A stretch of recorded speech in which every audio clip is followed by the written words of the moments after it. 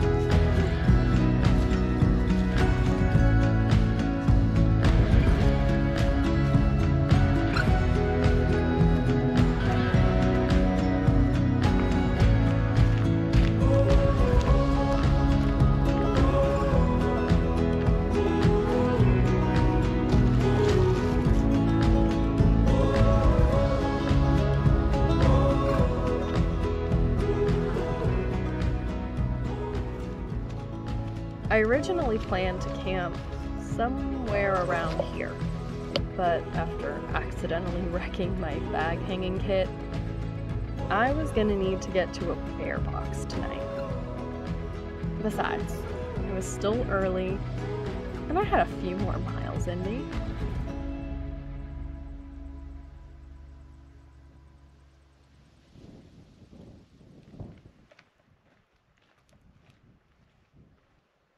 But not enough to make a side trip up Mount Rogers.